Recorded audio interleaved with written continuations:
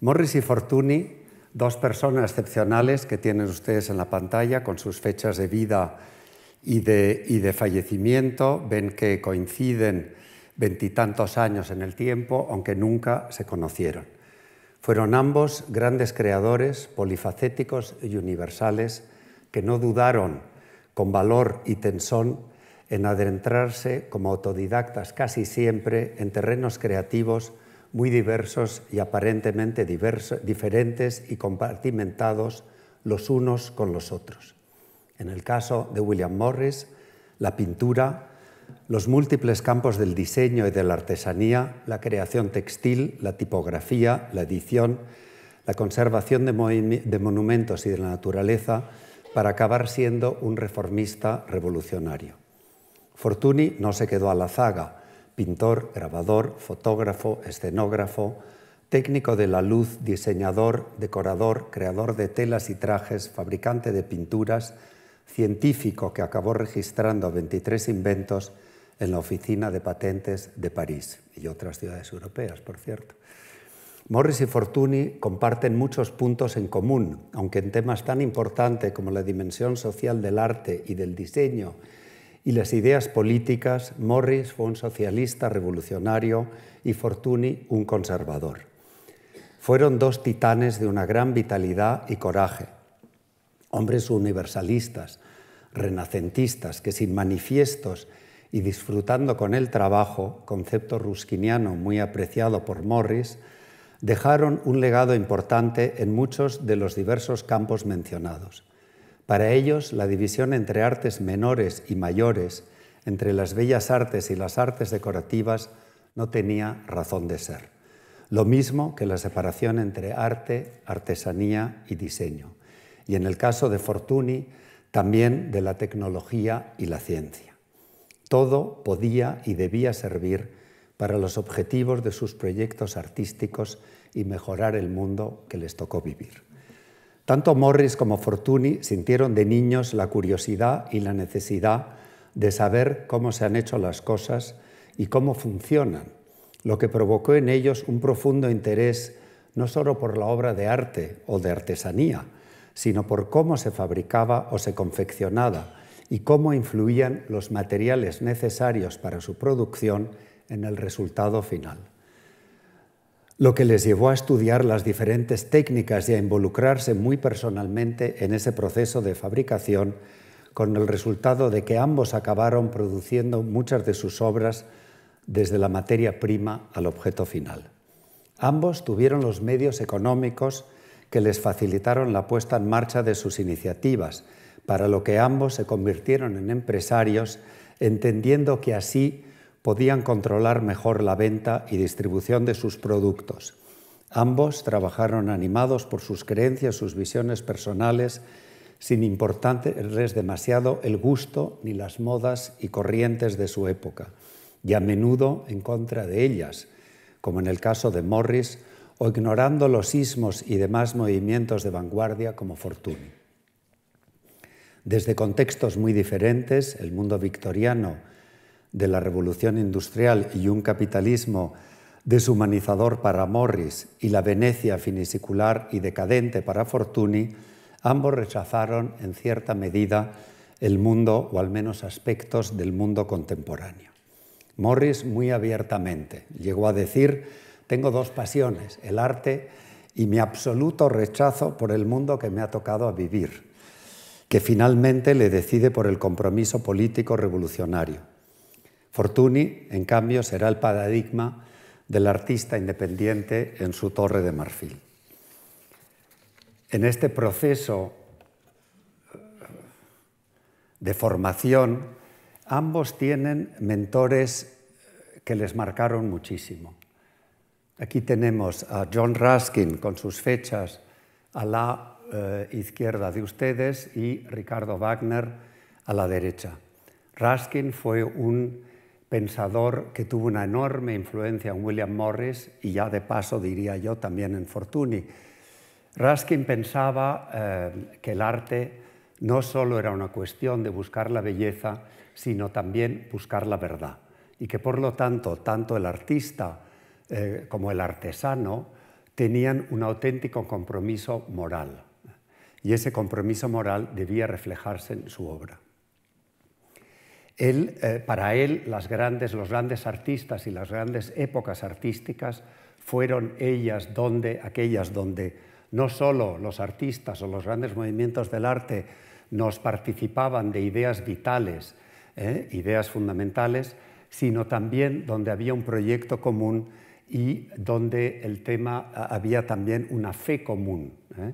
que es un tema que vuelve en los escritos de Raskin de una manera constante ¿eh? y él en el fondo aplica una especie de socialismo cristiano, nunca pierde de vista el, lado cristiano de eh, la actividad humana. Raskin eh, escribió muchísimos libros diferentes, el famoso libro de las piedras de Venecia, en uno de sus capítulos sobre la naturaleza del arte gótico, hace una gran defensa no solo del gótico como estilo artístico, que por supuesto le, fascinó y pensó que era, digamos, el sumum en la historia del arte y de la creación, sino del mundo gótico, del mundo del artesano y del artista que en el gótico había sido capaz de producir esa obra, es decir, el artesano. El mundo gremial, el mundo corporativo, el mundo colaborativo, eh, no el artista romántico, Em, con una cierta pedantería y muy creído de sí mismo, sino el artista casi anónimo, ese artesano que ayudó a crear las catedrales eh, y que se basó en la naturaleza para crear la ornamentación que iba em, a decorar todas esas catedrales y esas grandes obras góticas que en el fondo tienen también algo de la naturaleza, tienen algo orgánico, para él realmente era la cumbre, digamos, casi del arte y del artista.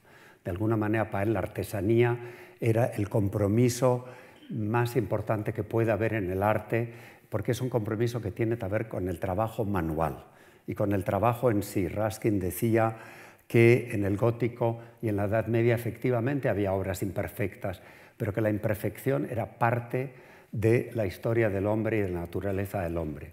Y la imperfección, en cierta manera, era un motor de búsqueda, de, ir más allá en esa búsqueda de la belleza y del perfeccionamiento.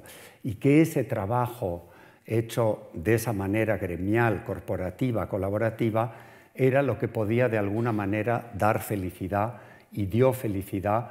Él mitificó bastante al artesano medieval, eh, pero de alguna manera él siempre defendió que se disfrute en el trabajo, palabras muy de Raskin, ¿eh? y, que fueron motor también en su vida, ¿eh? que, ese, que ese disfrute en el trabajo era lo que de cierta manera podía dar una felicidad, si esa felicidad realmente existía, y consiguientemente una cierta paz. En esa, eh, en esa visión, obviamente, chocó tremendamente con la época victoriana. Estamos en la época de Dickens, estamos en la época de Oliverio Twist, ¿no? que todos hemos leído eh, en algún momento, ese mundo eh, tenebroso de la Inglaterra victoriana, la Inglaterra de la gran revolución industrial, que por supuesto trajo muchos adelantes, pero también tuvo consecuencias nefastas eh, y sobre todo para el mundo de la artesanía, para el mundo de la producción, para el mundo de la creación de los objetos, donde la máquina iba a tener un efecto tremendamente negativo, hasta el punto de que hubo varios pensadores, y Raskin, uno de ellos, que pensaron que la artesanía iba a desaparecer. Con lo cual él siempre fue un defensor tremendo de la artesanía y del trabajo manual. Él llega a decir también que los hombres de pensamiento debieran dedicar una parte de su tiempo a producir cosas manuales y que los obreros debieran dedicar una parte de su tiempo a pensar. Raskin eh, fue también un gran pintor ¿eh? y sobre todo un maravilloso y extraordinario acuarelista. Él consideraba que la naturaleza, dentro de esa visión que él tenía, ¿eh? donde la religión jugaba un papel importante, la, naturaleza era algo de alguna manera sagrado y había que respetar profundamente, lo que eh, influiría mucho también en las ideas conservacionistas de Morris más tarde. El otro mentor, em, eh, en este caso para Fortuny, pero que también tiene algo de raskiniano, porque también busca en el pasado elementos que pueda traer en su obra, es decir, si pensamos en todos los mitos eh, premedievales incluso de los nivelungos, etcétera, etcétera, fue eh, Ricardo Wagner. Ricardo Wagner, todos conocen sus óperas, su actividad como músico, pero también fue en su época considerado como un gran pensador y un gran filósofo, que lo fue también. Y Wagner de una idea que es muy importante y que todavía hoy en día nos, influye mucho, que es la idea de la obra de arte total, ¿eh? Eh, donde las barreras no existen y donde todas las artes deben de colaborar en, un bien común, en una actuación común, que en el fondo es un poco la idea de la catedral gótica también. Y em, para Wagner, fundamentalmente es la ópera, de alguna manera, la que recoge por un lado, el tema de la literatura, que es el libreto, eh, basado muchas veces en las viejas leyendas eh, medievales y premedievales, en los ciclos eh, de los nivelungos, los ciclos arturianos, etcétera, etcétera. Por otro lado, la escenografía, que es el color, que es la pintura, y él cuando se leen sus libretos es muy interesante ver lo detallado que es en sus indicaciones escenográficas, ¿no? Pues no sé, en, el principio de las de, las hijas del Rin, pues él está hablando de una luz verdosa que se va convirtiendo en azulada según el día va eh, aclarando, etcétera, etcétera. da unos eh, eh, detalles muy precisos sobre cómo hay que iluminar sus escenografías, que también tuvo una profunda importancia, en, como veremos después, en la obra de Fortuny. Y, por supuesto, la música. La música, el lado del drama, y todo eso constituiría esa obra de arte total que tuvo, como he dicho, una importancia fundamental, de hecho, en ambos artistas. ¿no? Otra de las cosas que comparten son lo que les marcan ciudades. Eh, Oxford, en el caso de eh, William Morris, donde llega en 1852. Aquí vemos el Oxford, eh, que es una ciudad que, por cierto, se quedó muy al margen de la revolución industrial, mantuvo ese carácter eh, gótico de la ciudad. Aquí vemos uno de los famosos colegios, colleges de Oxford, el, Todas las Almas, el All Souls College, con la maravillosa biblioteca, el Cámara Radcliffe, eh, con la cúpula, el edificio eh, redondeado que ven ustedes en el centro de la imagen. Oxford mantenía ese, y es más, Oxford en ese momento es una ciudad importantísima para el revival neogótico.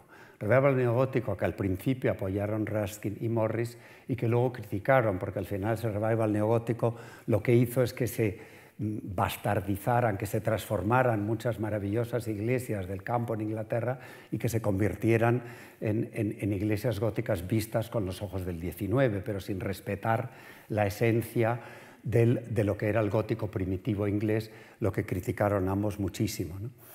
Y eh, Oxford eh, había estudiado también Ruskin ahí, había sido profesor en Oxford, eh, iría muy a menudo y de hecho allí se encontrarían en 1856 Ruskin y William Morris, que nunca mantendría una gran amistad, pero William Morris siempre fue, aparte de que es muy evidente la influencia de Ruskin, lo leyó, lo editó y de hecho en uno de los prólogos que hace en una de sus ediciones, él agradece a Ruskin la posibilidad de ese reencuentro de la belleza a través del trabajo manual en el mundo productivo, eh, rechazando el mundo maquinista y la em, eh, primera globalización que se produjo en el mundo y la homogeneización y la baja calidad de los productos domésticos.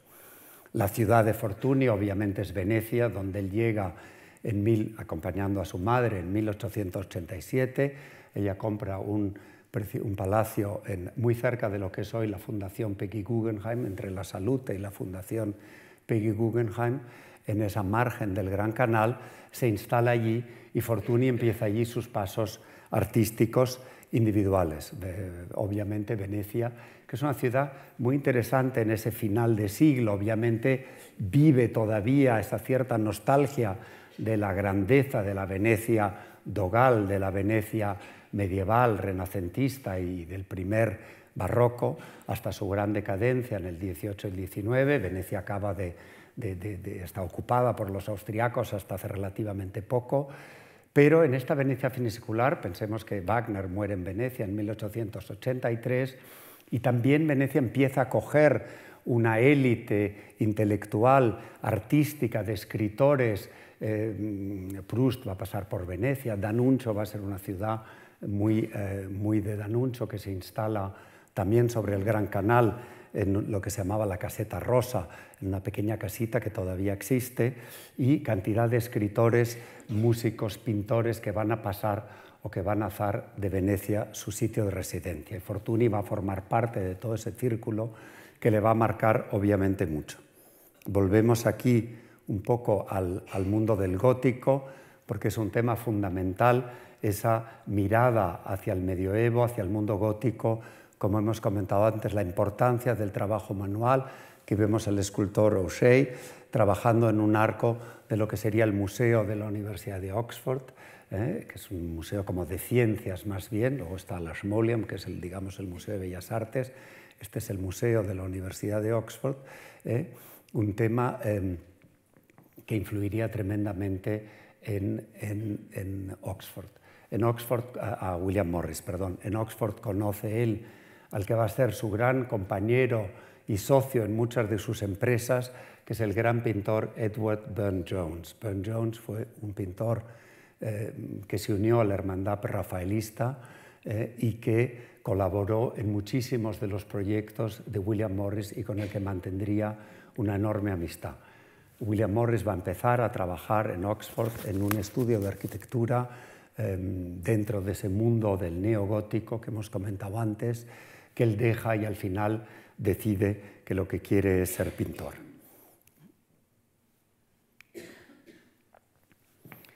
Ambos tienen lo que llamaría un poco el palacio, su palacio de arte, su casa del arte. Las casas del arte fueron para William Morris eh, la Casa Roja de Red House, una casa que él construye em, con un otro de sus grandes eh, socios y compañeros de andadura, que es el arquitecto Philip Webb, le encarga esta casa en el año 59 en el condado de Kent y eh, eh, Philip Webb trabaja en el diseño de esta casa, que parece que es la casa de arriba, obviamente, es una casa de ladrillo rojo, ladrillo vista, una casa muy orgánica, muy pensada como de dentro a fuera, pero también de fuera a dentro. Ven que el jardín llega realmente hasta los muros de la casa, ¿no? O sea, no quiere hacer una separación entre el territorio doméstico y el territorio de la naturaleza, que es el jardín en este caso, ¿no? muy importante para William Morris y para todo el pensamiento inglés de esa época. ¿no? Em, como yo, es una casa que parece en esta foto, parece muy grande, es una casa bastante pequeña, que ahora la vamos a visitar por dentro, ¿eh? y es una casa digo, construida, empieza a construirse en el año 59, se acaba al año siguiente y allí se instale a William Morris eh, con la que sería su mujer, que luego vamos a hablar de ella, y va a ser un centro, digamos, de reunión, de, em, pensamiento, lo que diríamos hoy casi un think tank, eh, del, grupo, del grupo alrededor que se, que se, que se, un poco que se forma alrededor de William Morris, con Burne Jones, con Philip Webb, con Rossetti y con, con Ford Madox Brown, con otros pintores y artistas ligados a la hermandad rafaelista y al, primer, y al principio del Arts and Crafts que realmente va a ser esta casa. ellos, cuando la casa está hecha, claro, hay que amueblarla. Y Morris, ni su mujer, ni sus amigos encuentran los muebles que les satisfagan, los muebles que ellos creen que deben de ir en, en el ámbito de esta casa. y deciden diseñarlos ellos. Y esa va a ser realmente la primera gran actuación del movimiento de arte y artesanía, de Arts and Crafts, va a ser precisamente The Red House. Y a partir de ahí, eh, bueno, vamos a ver, vamos a visitar la casa. ¿no? La casa tenía dos entradas, una por el arco y otra por detrás.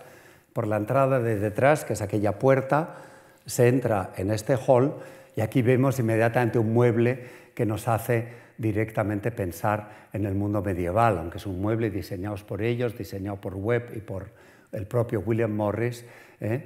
un mueble con este asiento, un poco mueble para acoger al visitante, es decir, siempre el lado del arte y la función deben de ir unidos. Es un mueble que tiene unas pinturas con los motivos de los, con la saga de los nivelungos y como ven ustedes pues tiene unas cajoneras arriba, es decir, siempre buscando también el lado funcional y el lado pragmático de las cosas.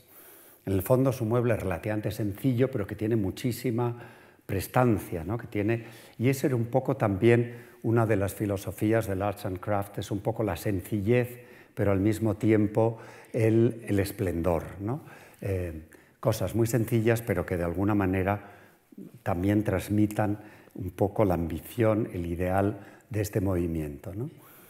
en, eh, a izquierda y derecha hay un salón y un comedor de donde es la foto de la parte inferior. ¿eh? ahí vemos un mueble de cocina que está en el comedor, ¿eh? donde hay pues, obviamente una silla y unas mesas. Luego tengo unas fotos mejores de las sillas, que están diseñadas por Philip Webb hacia 1870 ¿eh? y que son unas sillas pues ya como muy funcionales, muy sencillas, pero eh, al mismo tiempo muy artísticas. ¿no? Vemos los papeles pintados y todas las vidrieras, etcétera, etcétera. Realmente el movimiento de Arts and Crafts tomó, eh, participó en todos los campos de la artesanía y del diseño que podemos imaginar. Aquí vemos la escalera que sube de ese, de ese eh, gran hall de entrada, ¿eh? esta escalera que, también nos hace pensar un poco en el mundo medieval, pero ya con una estilización enorme y con este maravilloso artesonado, que es un artesonado, como ven ustedes, diseñado por, por Morris, pero ya con una estilización tremenda que luego nos vamos a encontrar en su producción textil o de papeles pintados.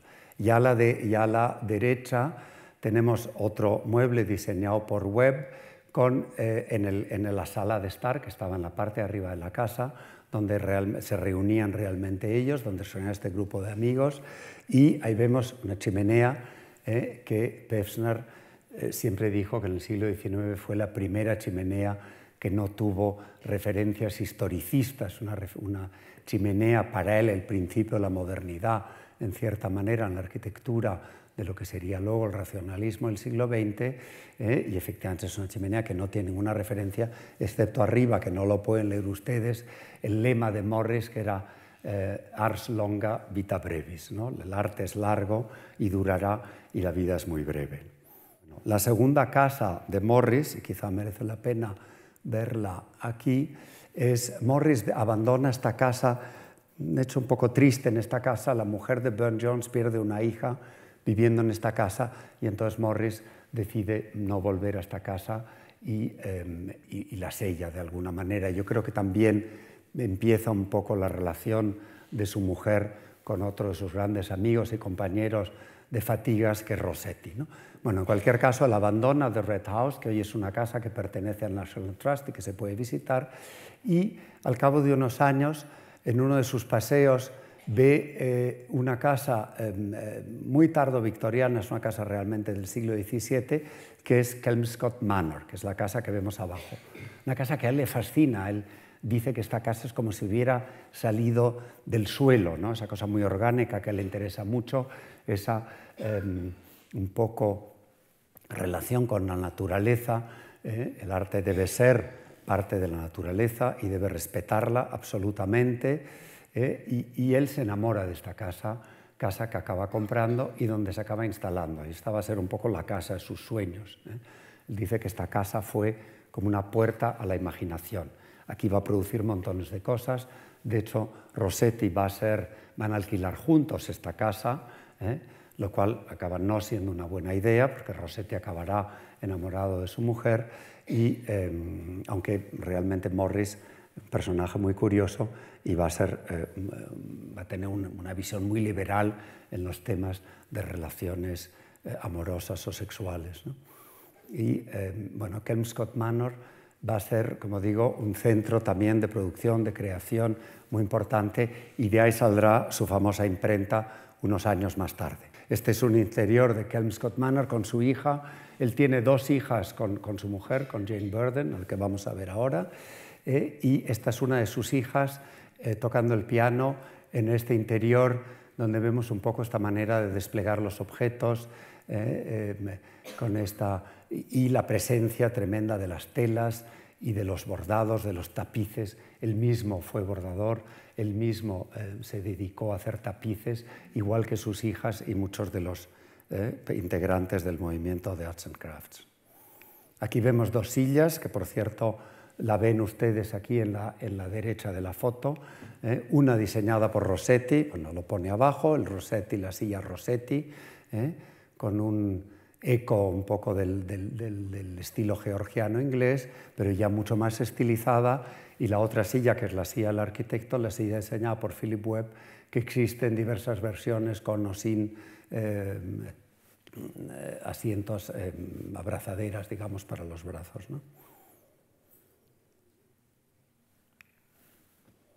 En cambio, Fortuny, bueno, es mucho más escenográfico en su manera.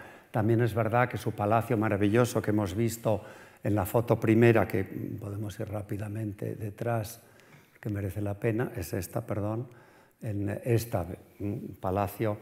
Él, como he dicho antes, se instala primero en casa de su madre, esa casa es pequeña, él empieza a elaborar sobre la idea de la iluminación, eh, empieza a incluir la tecnología y temas de ciencia que le han fascinado desde niño en su mundo creativo y el palacio de su madre mm, eh, se le hace pequeño. Y él eh, compra o, alquila primero los áticos de este gran palacio, el Palacio Pésaro de Yorfei, que no está demasiado lejos del trayecto del campo San Estéfano, que está un poco en el trayecto que habrán hecho muchas veces entre el, el, Rialto y la Academia. ¿no?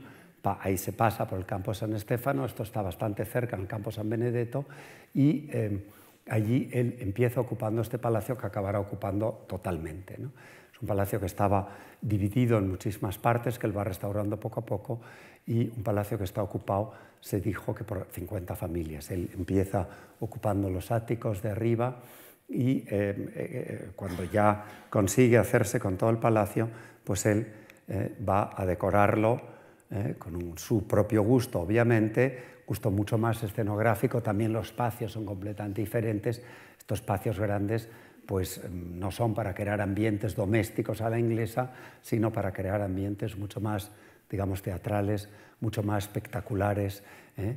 pero donde incorpora pues obras de arte antiguo, eh, sus telas obviamente, todas las paredes están tapizadas por sus algodones, por sus terciopelos estampados y obras de su padre. es un cuadro que en estos momentos pueden ustedes ver en la exposición de Mariana Fortuny Marsal, de Mariano Fortuny padre, en el Museo del Prado. una copia del, Goya eh, de la familia de Carlos IV, que está en el Museo del Prado y que eh, preside esta sala del Palacio Pésaro de Yarfey, hoy Palacio Fortuny.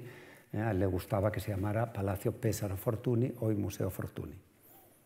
Aquí vemos otras vistas, los recuerdos de su padre, gran coleccionista, eh, eh, y muy influenciado por el mundo oriental, un apasionado del mundo oriental, sobre todo de la parte norteafricana, del mundo magrebí, y aquí vemos una serie de cascos eh, con este arcón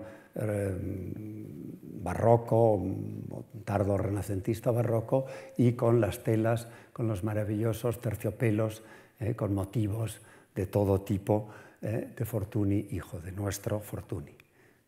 ¿Mm? Esta es un poco el Santa Santorum del palacio, que era la biblioteca, eh, con el tórculo para estampar eh, los grabados, tanto de su padre como los propios suyos. Y aquí vemos un poco este maravilloso eh, archivo visual que para Fortuny es fundamental y que le va a dar um, cantidad de, pistas para cantidad de cosas que él va a producir. De hecho, en la foto de abajo, en estos preciosísimos álbumes perfectamente organizados, es decir, por ejemplo, hay ventanas 1, ventanas 2, ventanas 3, árboles, ramas, em, flores, y en el de abajo están las coray griegas que van a inspirarle su traje más famoso, que es el Desfos. Bueno, aquí vemos también para ambos personajes de los que tratamos hoy, sus mujeres fueron muy importantes, ¿eh? sobre todo quizá más, porque la mujer de, de, William Morris y el propio William Morris tiene una relación un poco especial, eh, pero Jane Burton, a la que conoce en Oxford y del que se va a enamorar y que se, casa, y que se casan eh, justo eh, antes de la, del proyecto de la, Casa Roja, de la Red House, va a ser un personaje fundamental no solo para él, sino para el movimiento prerrafaelista, porque va a ser una de las grandísimas musas, como veremos más tarde, una de las grandes musas, eh, sobre todo de Dante Gabriel Rossetti, uno de los grandes pintores de la hermandad. Y en el otro lado está Henriette eh, Negrin, eh, francesa, la que conoce Fortuny a principios de siglo en París, donde él está yendo muy a menudo porque en ese momento está muy metido en sus eh, investigaciones luminotécnicas. Henriette llega a, a Venecia en 1902 con la mala fortuna que llega, parece ser, el día que se cae el campanile entonces la madre Fortuny, que por supuesto ve que su hijo se le va y entonces tenía una manía espantosa Henriette, decide que es por culpa de Henriette que se ha caído el campanile y ya la manía es doble, ¿no? y no la podía ni ver. Y de hecho ellos viven en una especie de concubinato porque ella está divorciada y de hecho no se casan, que es muy curioso, hasta 1924, ella había resuelto su divorcio mucho antes, pero bueno. ¿eh? Pero Henriette va a ser fundamental, va a ser la gran no solo la musa, sino más que musa, la gran colaboradora de Fortuny. De hecho, Fortuny llega a decir que el Delfos es realmente creación de Henriette. Yo creo que ahí hay un equipo fabuloso, una complicidad maravillosa que existió menos en el matrimonio de Morris, pero que fue fundamental para ambos. Los dos empiezan eh, por la pintura. Eh, Morris, muy influenciado por Rossetti, Rossetti le empuja a que hay que ser pintor.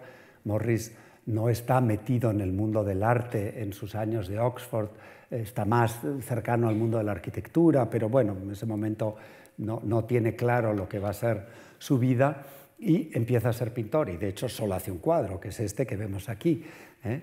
Em, que es un cuadro que a mí me interesa primero porque es Jane Morris la que posa para este cuadro ¿eh? y dos porque en este cuadro en el fondo lo que nos va a enseñar que lo que interesan casi son los accesorios que aparecen en el cuadro el maravilloso libro, no sé si la foto es de gran calidad, pero bueno, el maravilloso libro eh, de, iluminado medieval, eh, las, telas, eh, lo del fondo, que ese panel del fondo que parece un gran tapiz, las telas que algunas eran de su propia colección particular, como parece ser que son los colgantes blancos, esa especie de pequeño mantel que está sobre este mueble, y me interesa a un lado eso, el mundo de los objetos, que es un mundo por el que al final va a tomar partido William Morris, se va a lanzar por ahí, y otro, el mundo medieval, que es obviamente evidente, el cuadro se llama La Bella Isolda, que está en estos momentos en duelo por la partida de Tristán, al que eh, piensa que igual no va a volver a ver, y que va a ser tema precisamente de una ópera de Wagner. Al final, todo este mundo, eh, eh, hay muchísimas complicidades y ecos de unos a otros. ¿no? El traje de ella es un traje eh, obviamente de inspiración medieval eh, y que de alguna manera tiene que ver con lo que luego eh, hablaremos. En el otro lado tenemos un cuadro de Fortuny, uno de sus cuadros más importantes, Las muchachas Flor, tema wagneriano, del Parsifal, la ópera más quizá mística de, de Wagner y desde luego la que más le gusta a Mariano Fortuny. Como ven, el marco hecho por el propio artista, diseñado por él, pintado por él, eh, con las palabras que conciernen esta escena del Parsifal. Esas muchachas flor que parecen danzar un poco como Louis Fuller con sus, con sus eh, velos eh, dando vueltas y que Fortuny había visto en París, al, donde le lleva Boldini el pintor, ¿no? discípulo de su padre. Volvemos a esta especie de relaciones cruzadas tan importantes en esta época. Fortuny se considera toda su vida sobre todo un pintor, aunque realmente en lo que su excelencia va a estar más como creador de telas y trajes y su, la gran revolución luminotécnica de la que fue un valedor importantísimo. Bueno, el, el, eh, Morris, como digo, solo pinta ese cuadro, pinta en los muebles, muchos de los muebles que hemos visto están pintados por Morris y por algunos de sus compañeros en colaboración. El tema de la colaboración y el tema ese corporativo es fundamental en la mentalidad de William Morris, que no lo va a ser en la de Fortuny, que va a ser, como he dicho antes, un artista muy aislado, aislado por voluntad propia y por un cierto recelo del mundo, ¿no? Eh, por una serie de razones que, que, bueno, que si nos da tiempo explicaremos. Em, yo creo que la parte, em, Morris tocó a todo realmente, ¿no? fue las vidrieras, em, fue bordador, fue tejedor, eh, iluminó libros, eh, pintó como hemos visto, diseñó muebles, pero sobre todo quizá el trabajo que más ha pervivido, como en el caso de Fortuny, y esto también los, los, los de alguna manera los, los, equipa, los equipara, es su trabajo como creador textil, donde realmente aportó muchísimo y de hecho hoy se siguen vendiendo y podemos seguir comprando tanto las telas estampadas, el trabajo trabajó fundamentalmente en el sistema de la estampación, igual que haría Fortuny, y los papeles pintados también estampados con bloques de madera. ¿no? Aquí vemos tres ejemplos de telas muy inspiradas del mundo medieval, ¿eh? como puede ser este ladrón de fresas, ladrón de fresas, que son estos pájaros eh, muy inspirados del mundo medieval, la idea de los pájaros enfrentados, eh, que nos vamos a encontrar en tejidos medievales o en tejidos de Luca. Eh. Allá hay un tejido más inspirado del mundo persa em, y del mundo otomán, el, windrush, podríamos decir como golpe de viento, em, y abajo una, el jasmine trail, que sería como la espaldera de jazmín. ¿no? La espaldera le sirve precisamente para crear la estructura y para crear el fondo de la obra, donde eh, el diseño de los textiles se aplican de una manera completamente plana. hay una estilización enorme comparado a lo que eran los textiles en la época victoriana, mucho más barrocos, los brocados, los textiles muy ricos. Aquí no, aquí hay una voluntad de sencillez, como he, como he, dicho antes, sencillez y honradez, ¿no? que es, son los dos, digamos, lemas que acompañaron el diseño de Morris y al propio Morris siempre. ¿no? Eh, él eh, bueno, diseñó más de 600 textiles, es enorme la producción textil de él. Por supuesto, se estampaban manualmente eh, y él enseguida rechazó, por supuesto, el maquinismo y la, y la producción mecánica y rechazó también los tintes eh, químicos, como la anilina, ¿no? que se pone muy de moda entonces porque se, se, inventa entonces. Y él vuelve a los tintes naturales, es decir, el añil, el índigo, el azafrán para los amarillos, la cochinilla para los rojos, etcétera, etcétera, etcétera. ¿no? Y él le gustaba mucho teñir él mismo, él realmente es un gran tintorero, en las fórmulas de, los, de los teñidos, de las cubas, de las proporciones eh, que había que hacer, que había que mezclar, todo eso le apasionaba y em, en un momento dado, en 1881, él crea su propio taller de estampación, que luego veremos alguna foto. Vemos rápidamente algunos de los em, eh, papeles estampados, eh, generalmente de tonos más apagados. El papel se supone que era como para dar ambiente más general con lo cual son más neutros de colores, un poquito más apagados, pero bueno, el lily, el golden lily, el lily dorado, pues eh, ya vuelve un poco esos colores fuertes también de los libros iluminados medievales, ¿no? que realmente tuvieron, él los coleccionaba, él tenía una colección también de telas antiguas y también fue un asiduo visitante de lo que entonces era el South Kensington Museum, el Museo de South Kensington, que hoy es el Victorian Albert, y que, que por cierto, él haría la preciosa cafetería que está todavía. Si ustedes van, les recomiendo tomarse una taza de té con un pastel a las 5 de la tarde, obviamente, en la cafetería del Victorian Albert, que está diseñada por William Morris y su equipo, y que está todavía tal como él la dejó pero él iba ya no solo para tomarse el té, sino para estudiar los tejidos antiguos que le inspiraron muchas de sus creaciones. El último capítulo importante de su producción, y para no eh, meternos en muchos detalles, que es un capítulo fantástico y extraordinario, fue, que ocupó los últimos años de su vida, fue el capítulo de la imprenta. Él fue un fantástico editor el Kelmscott Press, eh, con el nombre de su casa, de esta casa donde él va a ser realmente feliz y que le va a ayudar a, crear y a producir tantas cosas eh, espléndidas. Él va a ser un extraordinario editor, un extraordinario tipógrafo. De alguna manera, él quiere en, no solo mejorar, obviamente, el nivel del libro de su época y hacer libros realmente artísticos, ¿eh?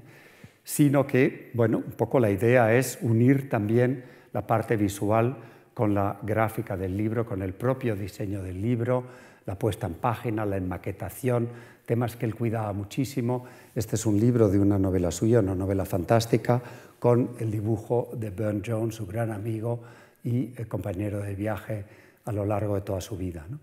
Eh, Kelmscott Press editó libros suyos, libros de otros poetas contemporáneos y amigos de él, por supuesto Ruskin, él hace una preciosa edición de Las Piedras de Venecia, y también literatura medieval. Él hace una extraordinaria edición, que hay un volumen en la exposición, eh, hay otros libros también de Kelmscott arriba, pero sobre todo el Chaucer, eh, que realmente el gran escritor medieval inglés y que él va a hacer una edición extraordinaria. ¿no?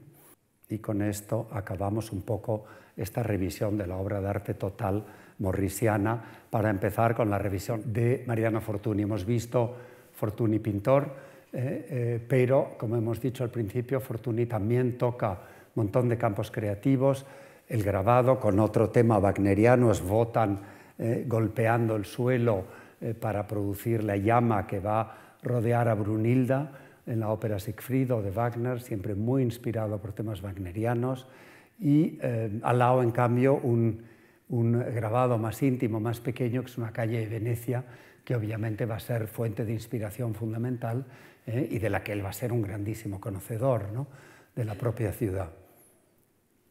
También fue un espléndido fotógrafo, las fotos eh, que han aparecido antes, hablando de las ciudades de Oxford y Venecia, ambas fotos son del propio Mariano Fortuny. Fortuny, em, que hace el viaje a Bayreuth bastante joven, acompañando a su madre y su hermana, em, eh, él les convence de que vayan a Bayreuth, de que es fundamental eh, oír la ópera de Wagner en el gran lugar, el lugar de la obra de arte total, que es el propio teatro que Wagner diseña, que es Bayreuth que es un sitio fascinante, por cierto, es un teatro donde no hay casi paredes, donde se ve perfectamente bien de todos los asientos y donde Wagner empieza a apagar la luz. ¿eh? Antes no se apagaba la luz en los teatros, ¿no? o sea, Wagner decide apagar la luz, concentrar todo el interés en la escena y al mismo tiempo esconder, no se vea que la, la orquesta muchas veces estaba sobre el escenario, la orquesta en Bayreuth está en una especie de caracola mm, escondida que no se ve, ¿eh? es una caracola precisamente para que la música salga y hay una acústica absolutamente extraordinaria. ¿no? Bueno, eh, Fortuny hace el viaje a Bayreuth la primera vez en el 91 y queda fascinado, pero vuelve muy decepcionado por los decorados eh, que se encuentra en Bayreuth. ¿Qué pasa en ese momento? Estamos todavía en la época de luz de gas y los decorados son fundamentalmente decorados pintados. Entonces, ¿qué pasa? Que en cada acto, en cada intermedio, hay que parar la orquesta, parar el desarrollo de la obra y salen los 10, 15, 20 funcionarios a retirar los eh, escenarios que había y a poner el siguiente. Y precisamente con libretos tan minuciosos como los de Wagner, en los temas de luz, de colores, eh, que si es el amanecer, que si es la tarde, y la tarde se va convirtiendo en cada vez más oscura, cae la noche, etc. Bueno, todas esas, todas eran meter y sacar eh, escenarios pintados todo el rato, y por supuesto eso, ah, las óperas duraban muchísimo, y eh, eso a, a Mariano Fortuny le parece lamentable y decide poner remedio. Y empieza trabajando un poco sobre la idea de la luz. Y él descubre un poco por azar, en uno de sus experimentos que la luz indirecta le permite una cosa muy importante que es controlar el haz de luz. No solo controlar el haz de luz, sino que al ser una luz indirecta que refleja sobre algo antes de ir al objetivo de la luz, también puede, si eso cambia de colores, la luz va a tener colores diferentes. Y a partir de ahí, de esa idea de la luz indirecta coloreada, él va a desarrollar un procedimiento que patenta ya en 1900, 1901, son las primeras patentes, patentes que va a ir mejorando y, em, eh, a lo largo de su vida, y esta es una de las... Y esa luz indirecta, para que tenga realmente su efecto de la cúpula del sol, de la, de la bóveda celeste, ¿eh? pues él diseña este cúpula, la, cúpula, famosa cúpula Fortuny, que es un cuarto de esfera que está al final del escenario y la luz iría, a ver si, a ver qué hay, Bueno, es igual, ahora les enseño. los sistemas de luz indirecta irían aquí y, y irían sobre, incidirían sobre este cuarto de esfera, la famosa cúpula Fortuny que se instalaría en, todos los grandes teatros del mundo. Este sistema es un sistema eh, que tuvo un éxito enorme y que revolucionó completamente la escenografía teatral. Y desde luego fundamental no solo para las óperas de Wagner, sino para cantidad de óperas y cantidad de teatros en el propio París, en Alemania, el famoso Kroll, el famoso teatro que dirigió Max Reinhardt, los teatros en Rusia, más tarde en Estados Unidos, la Scala de Milán, en los años 20, eh, incorporarían la cúpula que ya la cúpula más mejorada era una cúpula que se podía plegar, desplegar, que se podía mover, etcétera, etcétera, y él mejora al mismo tiempo su sistema de iluminación, sistema de iluminación indirecta, que en el fondo mm, estas son lámparas de su diseño, lámparas que nos hacen pensar en el diseño mucho más moderno y racionalista, pero en el fondo se ve muy bien lo que era la luz indirecta, ¿no? es decir, el foco de luz no sale, el haz de luz no sale directamente, sino refleja sobre, en este caso, sobre esta pantalla eh, convexa y de ahí eh, permite una iluminación, eh, hoy nos parece muy normal, pero entonces fue una grandísima revolución que admiraron todos los hombres de teatro. Fortuny la aplica también en lámparas más, digamos, exóticas o de tono, digamos, moresco, eh, pero en el fondo van, tiene incorporados el sistema de luz. Esta es una foto de las lámparas que iluminan el gran salón de su palacio en Venecia.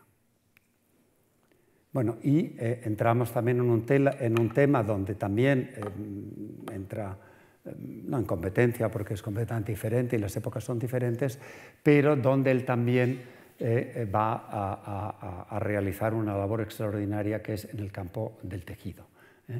Y luego en el de la moda que veremos un poco más tarde.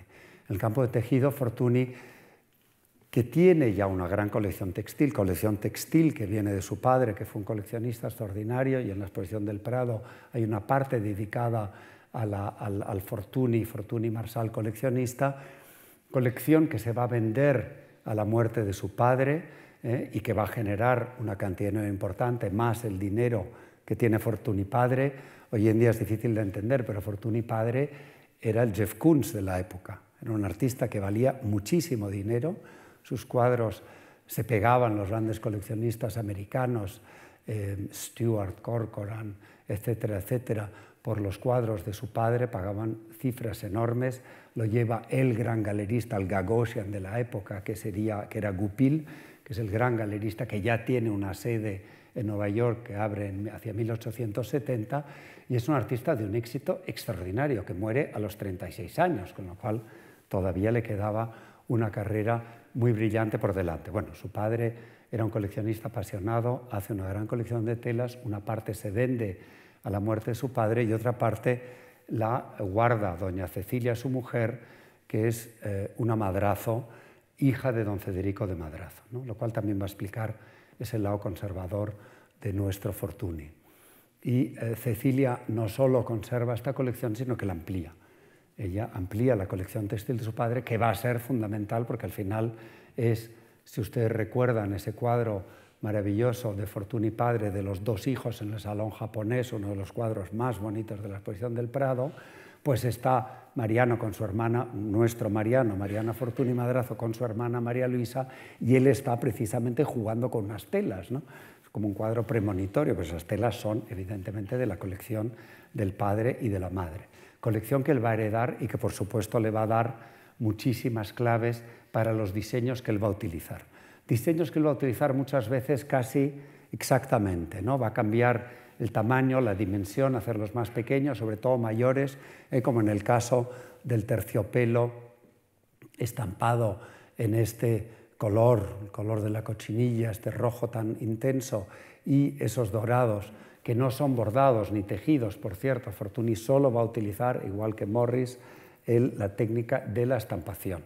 ¿eh? Morris es por bloques de madera, Fortuny empieza con bloques y luego él crea sus propios procedimientos y su propia maquinaria. En esta idea que es muy importante de controlar el proceso de creación, que es fundamental en los dos. El proceso de creación depende mucho del material y la manera de, que, de llegar al resultado querido por ambos artistas es precisamente controlar, no solo controlarlo, sino hacerlo ellos mismos. Y de hecho, eh, Fortuny, igual que Morris, recibe las telas en estado crudo y todo se hace en el, eh, palacio, en el palacio veneciano, donde hay un taller de telas que veremos luego, creo que hay alguna foto. Bueno, el otro, el otro textil es un textil otomano. ¿eh? De, aquí tenemos a la granada, ¿eh? que, viene de la flor de loto, recorre desde el, extremo oriente hasta Europa, ¿eh? motivo fundamental del Renacimiento, que lo vemos en los cuadros de Van Eyck en los cuadros del Renacimiento italiano, y el textilo otomano, que son de los temas favoritos de propio Fortuny, aquí un, un textil de inspiración persa, ¿eh? también otro terciopelo de seda estampado en oro y en plata, que luego descubrimos que no eran, que eran bronce y la plata era estaño.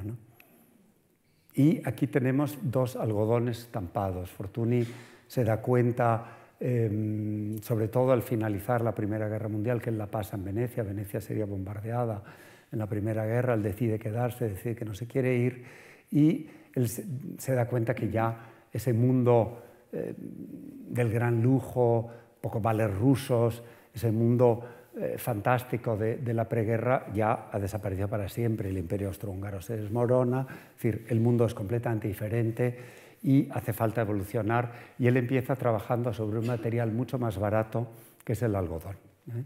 Los dos tuvieron un problema que al final es un poco paradójico, porque al final Morris, que quiere hacer cosas para el pueblo y quiere que el pueblo viva muy dignamente y con objetos preciosos, pues acaba haciendo cosas que al final compra la élite, eh, digamos, culta, sofisticada, artística o burguesa, eh, eh, y los productos no eran tan baratos, son productos hechos a mano, aunque al final él incorpora algunos procesos mecánicos como el racar, para abaratar precisamente un poco el coste, pero no son productos baratos, igual que los libros de Kelmscott no eran libros baratos.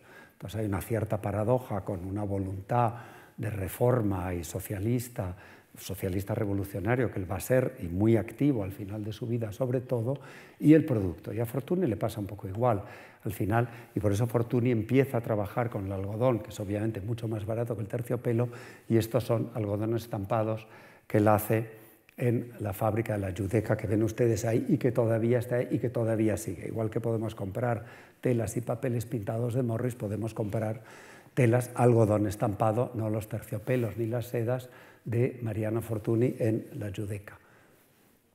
Ese es un tema fundamental de ambos, el tema de la producción y el control de la producción. Aquí vemos los talleres donde eh, se hacen las telas de William Morris a la izquierda y em, una foto de Henriette, una foto preciosa que está Henriette pintando un bloque de madera que va a servir seguramente para eh, los famosos velos cnosos, luego veremos alguna foto, y abajo una foto relativamente más reciente, pero que me gustaba mucho porque se ve a las operarias en el palacio, en una gran mesa también, eh, donde están retocando las telas. Es decir, el trabajo manual es fundamental aunque él inventa su propia maquinaria, al final las telas de Fortuna, igual que las de Morris, acaban teniendo una participación manual, ese fundamental concepto raskiniano que hay que crear cosas con la mano, ¿eh? porque esa es lo que nos va a acercar, digamos, a la verdad, al arte y, en el fondo a una cierta visión de la religión,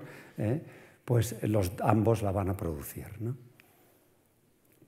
Un tema también fundamental en ambos es lo que hoy llamaríamos el marketing. Es decir, fenomenal, yo me dedico a hacer telas, yo me dedico a hacer vidrieras, a hacer sillas, yo hago trajes, yo hago lo que fuera, pero ¿cómo llego al público? Es decir, o se lo doy a alguien para que me lo venda al corte inglés o lo hago yo mismo.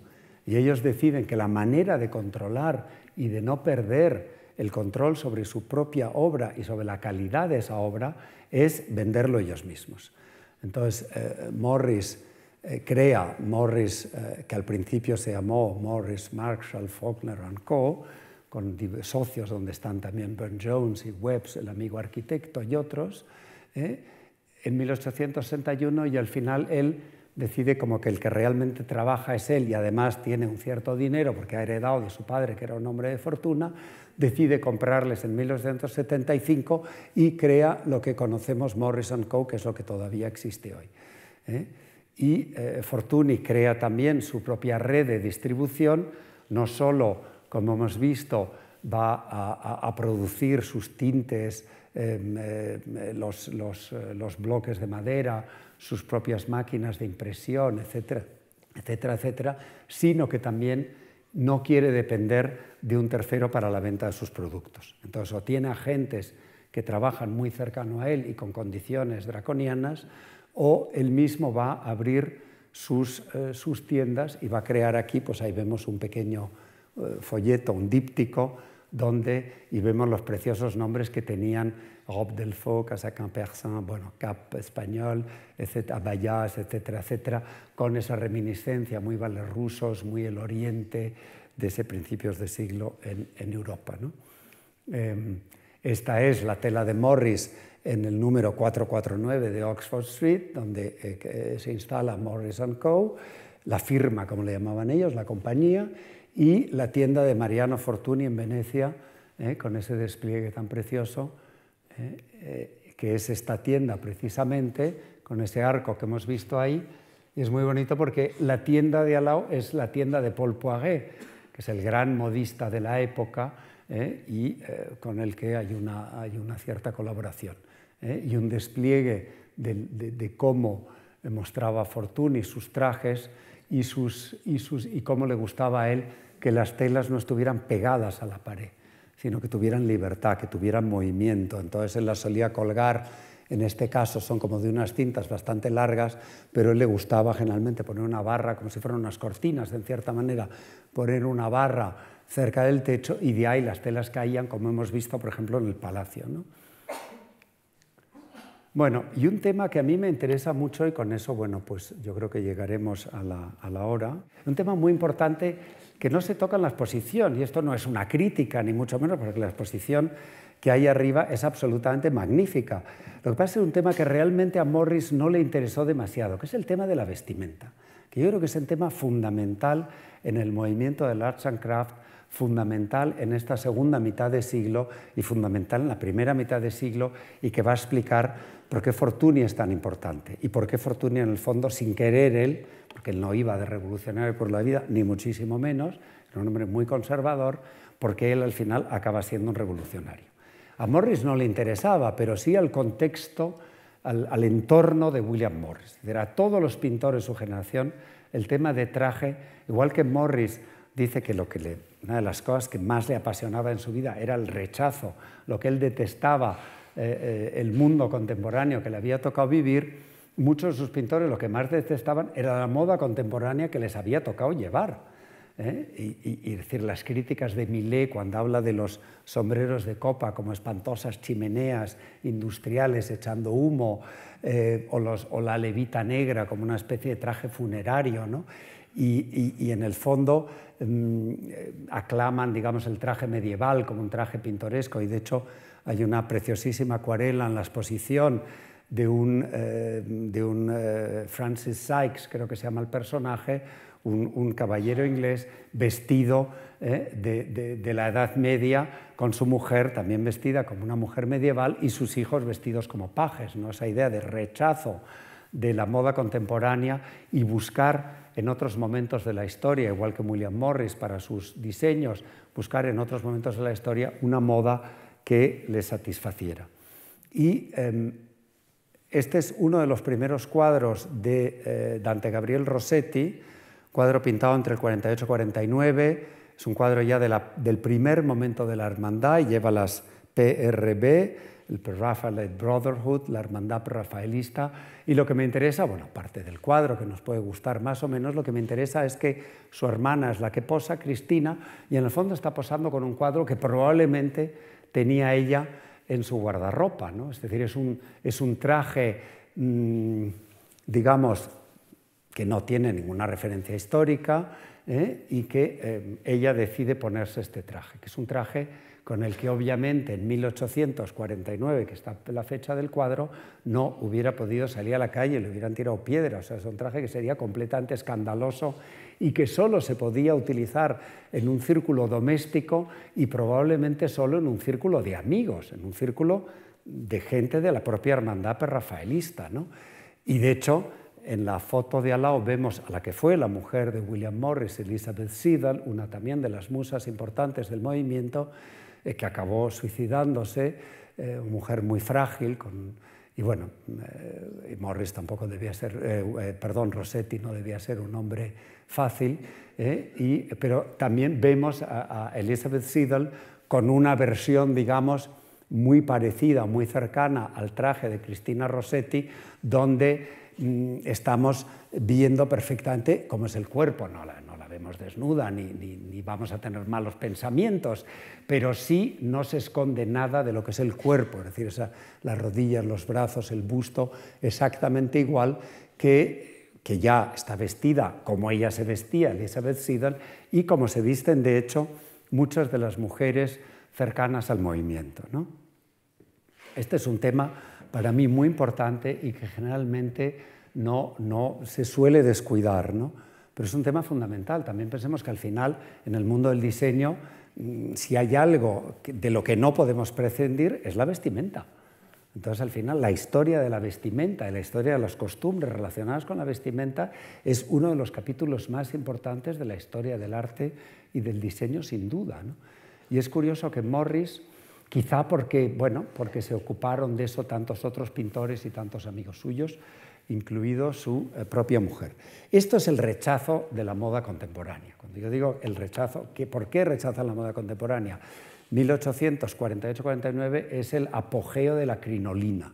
Y la crinolina es esto, esta especie de monstruo eh, que lleva esta señora que produce, produce ese tipo de trajes decir, em, eh, en un momento dado se crea una sociedad para la reforma del traje donde dicen la mujer no debe de llevar más de siete, eh, siete pounds, serían tres kilos y medio de ropa interior.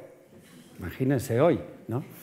Es que llevaban hasta 10 y 12 kilos de ropa interior, es decir, en aguas y en aguas y en aguas, hasta que llega esta especie de crinolina hecha de ballenas que pesa muy poco y que fue un enorme alivio, pero al final, cuando uno tenía que llevar un traje apoyado en esta crinolina, pues era una cosa enorme y hay miles de caricaturas sobre este tema en la moda de la época.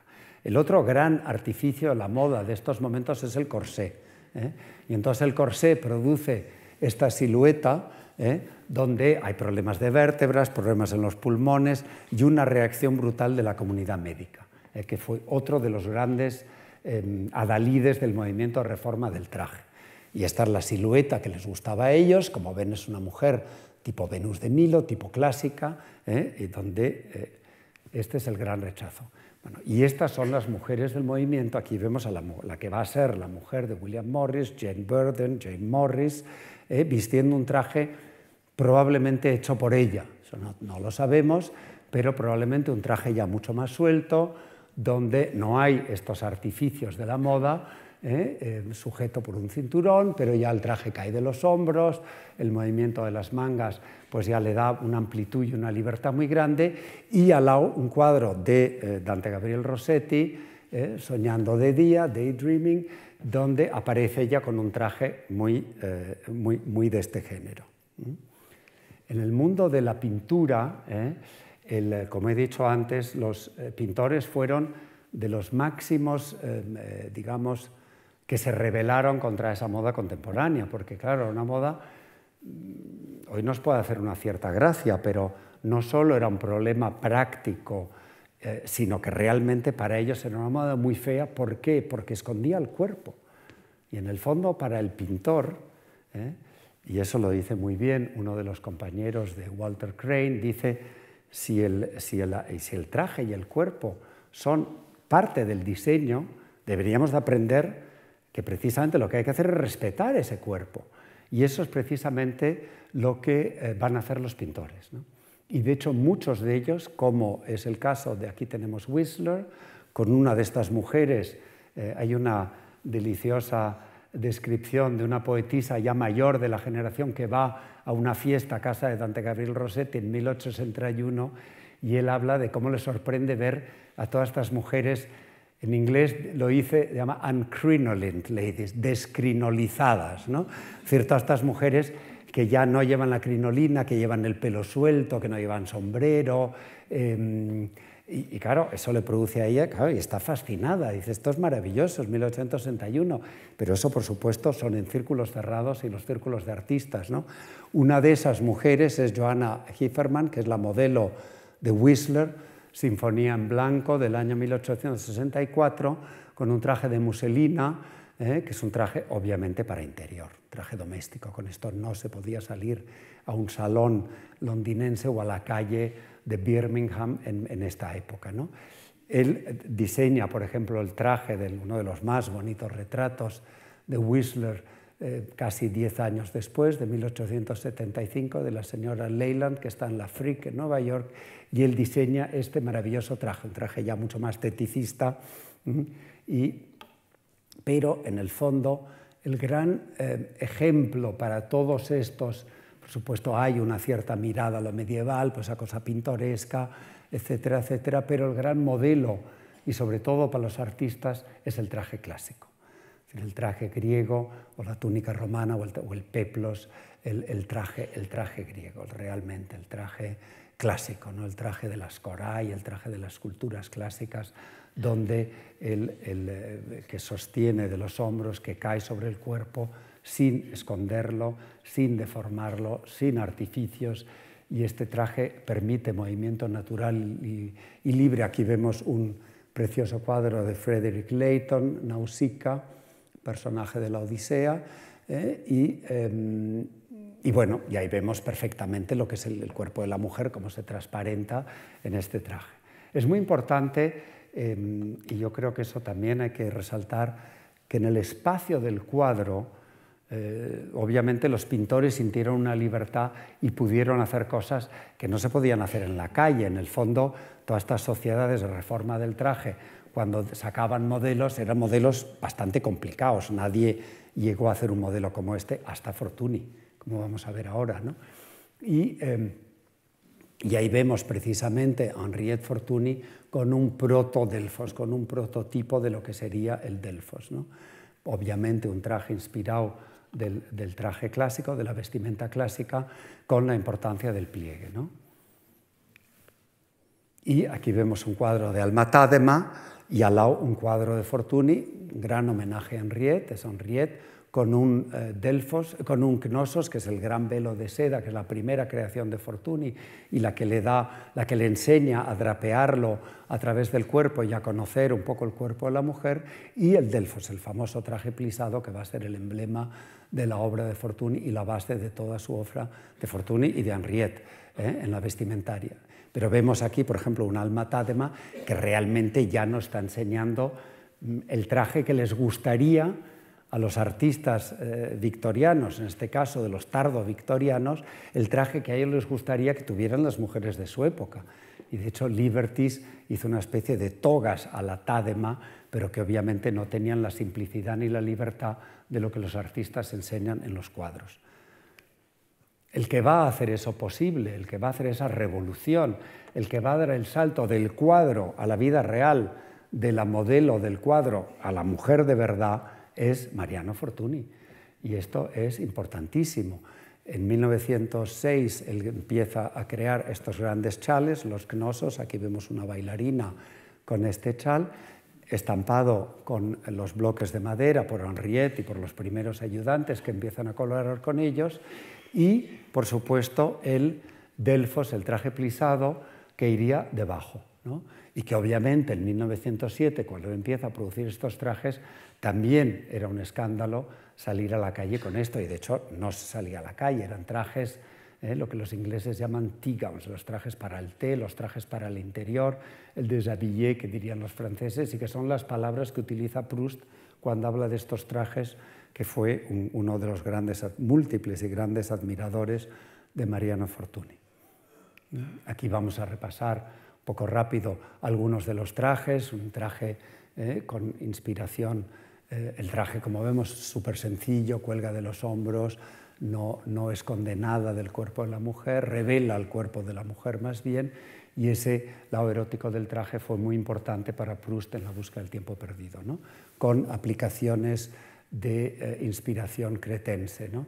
Aquí un traje más de inspiración medieval, eh, con este terciopelo de seda estampado con motivos de Luca, de los pájaros, ¿eh? y la seda uniendo los dos trozos de tela, pero al final la forma del traje es una, es una T, muy sencillo, no tiene más los, los diseños. Aquí vemos un, un, manto de terciopelo de seda, ¿eh? estampado con un dibujo también de inspiración cretense, y al lado un gran manto eh, ha inspirado el Renacimiento con un delfos azul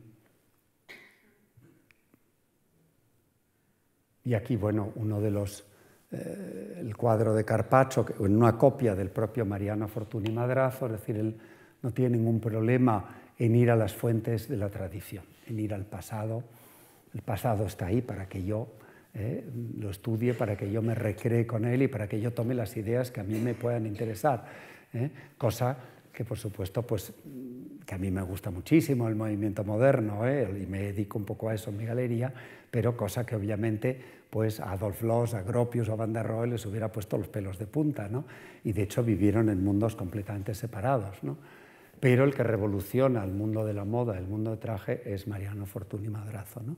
Y aquí vemos una capa, una foto del propio Fortuny, que fue un espléndido fotógrafo, una capa inspirada un poco de estos, y es precisamente Proust el que dice cómo cuando él entra en uno de los viajes a Venecia del narrador, Cuenta cómo cuando entra en la academia se queda fascinado ante, estos, ante los cuadros de Carpaccio, los cuadros del, creo que es el milagro de la cruz, y, eh, y, cómo se da cuenta de que de los hombros de uno de estos compañeros de la calza, que es precisamente este, lo toma Fortuny para vestir a tantas parisienses. ¿no? Y hay una, eh, bueno, está lleno de referencias maravillosas a la obra de, a la obra de Mariano Fortuny.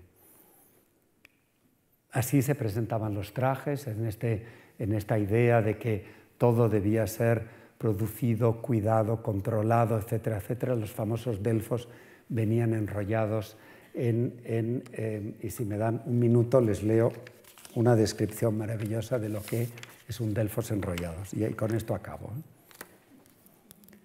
Esto está, está, escrito por uno, Fortuny tuvo mucho eco en la literatura, empezando por D'Annunzio y acabando por por Mary McCarthy, o en, la novela, eh, ¿cómo se llama? El tiempo entre costuras, o cómo se llama la novela de esta escritora española, muy, de ahora, vamos, que hay una película, por cierto, donde la protagonista se hace un Delfos, es bastante, bueno, Fortuny está muy presente en la literatura, este es un escritor inglés, no demasiado conocido en España, pero la descripción es maravillosa.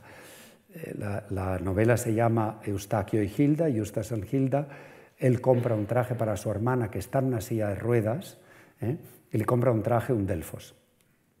Va a Venecia a comprar el Delfos y entonces él no puede resistirse y abre la caja, que es una caja como estas, y dice, y dice el escritor, Fortuny estaba escrito en letra de imprenta sobre la caja. Justas desató el lacio y levantó la tapa. Lo que descubrió bajo el papel de seda liso le provocó un escalofrío de placer totalmente enrollado y retorcido en sí, dispuesto para ser sacado, el vestido azul y plata de Hilda, los pliegues densos, tan unidos los unos a los otros como los surcos de un campo labrado, les parecieron más oscuros de lo que había imaginado. Sabiendo que nunca sería capaz de desplegarlo, se contentó con deslizar sus dedos entre las ranuras y las aristas del plisado en las que sintió la resistencia de lo que había estado tan apretado.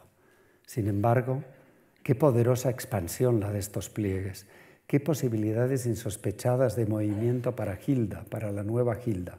En este vestido podía danzar, podía volar. Y de hecho, el libro acaba, Hilda se viste con un traje de Fortuny y el médico le dice que para curarse, una de las posibilidades que tiene Hilda de curarse es pasar por otro shock que es lo que le, parecido al que le provocó el tener que estar en silla de ruedas. Entonces él está paseando con Hilda al lado de unos acantilados Y su hermano tiene la tentación, porque Hilda es pesadísima y le da la lata por todo y es muy exigente, tiene la tentación terrible de decir, bueno, acabo con este drama que me ha tocado vivir y me deshago de mi hermana, que tampoco ella está feliz. Y él es tan fuerte lo que le produce que él se desmaya y ella se levanta de la silla. O sea, el traje, el traje eh, le da, digamos, la vida otra vez. Y es una idea poderosísima, idea que recoge también Proust, pero bueno, es una idea fantástica y que, eh, bueno, nuestro querido Marianne Fortuny, Fortuny fue capaz de producir en el fondo también en tantas mujeres, en tantas mujeres como por ejemplo Natasha Rambova. Ya en los años 20, 30 los trajes empiezan a utilizarse para las veladas de noche, para, las, eh, para salir a la calle, para fotografiarse en ellos. Tuvieron un gran éxito ¿eh? y, con esto yo creo que me he pasado de la hora muchísimo, pues ya les, libero a ustedes. Muchísimas gracias.